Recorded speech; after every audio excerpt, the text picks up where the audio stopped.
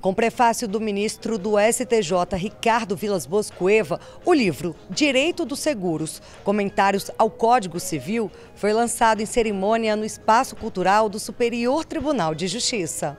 Além de abordar os 46 artigos do Código Civil relacionados aos contratos de seguro, a obra examina outros nove dispositivos legais sobre pontos de grande importância para a matéria, como a validade e a interpretação dos negócios jurídicos, a prescrição e os princípios da boa-fé objetiva e da função social do contrato.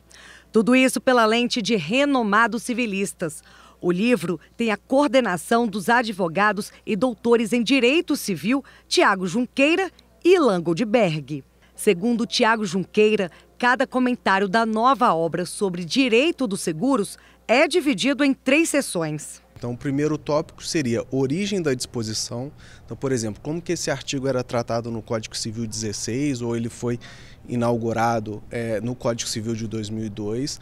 Depois, o segundo tópico é principais aspectos controvertidos, então que a gente dialoga um pouquinho com a jurisprudência do STJ. E o terceiro tópico analisa disposições relacionadas, ou seja, como que esse artigo do Código Civil se relaciona com outros artigos do Código Civil, mas também outros artigos no âmbito da regulação infralegal.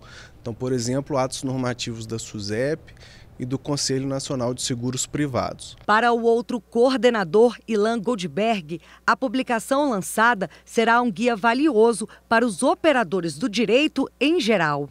A gente vem observando nesses últimos anos, talvez de 10 anos para cá, um crescimento considerável de julgados por parte do Superior Tribunal de Justiça em matéria de contratos de seguro. Então, a nossa obra também teve a finalidade de preencher uma lacuna para que, do ponto de vista doutrinário, a gente tivesse uma fonte segura de consulta para que juízes, desembargadores, ministros e, além de tudo isso, nós, advogados, possamos recorrer por ocasião de nossas dúvidas para a elaboração de nossas teses no nosso cotidiano.